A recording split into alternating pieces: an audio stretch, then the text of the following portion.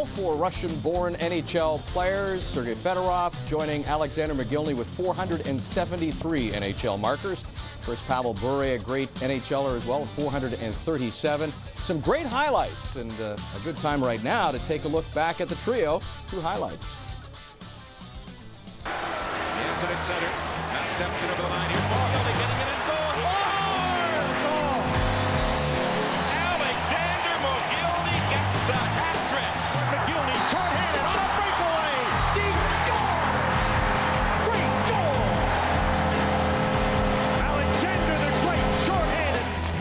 Mogilny has just scored. Big blast off the left side. Madden winded it behind. Chopped right back to him, though. Fed Mogilny. Score! Alexander Mogilny. Mogilny rushing in on a breakaway. Look, shoot, score! Brown played it off. Centering pass and a goal. Fedorov. Yzerman short-handed. Fedorov.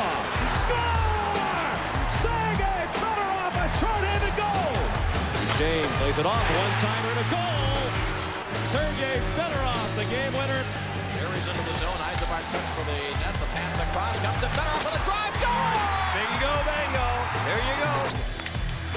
Sneaking in, now retreat to the right point. Fedorov, through, got! Power play goal! Sergei Fedorov, a wrist shot. Played back to the point. There's another Calgary product. Schultz scored! Tipped in front. Fedorov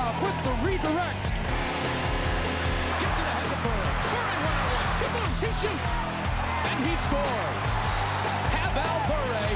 Murray works back to the point, still controlling it, moving into the slot, trying to go to his point, he scores! What a great move by Pavel Bure! Pavel Bure closing on in. Bure fires and scores. Whitney, Whitney looking right in front of the net. They score. Sneaking in and belting it